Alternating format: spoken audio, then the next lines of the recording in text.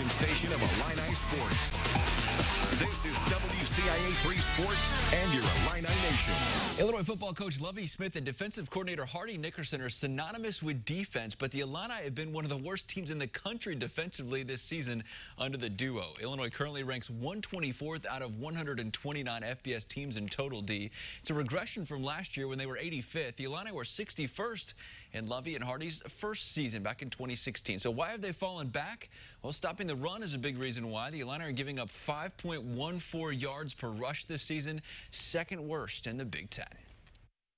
Well, you know, our execution can definitely be improved. Uh, you know, um, that and, and you know when you when we're executed properly, we're in the right places at the right time, and, and that's what that's what we're aiming for.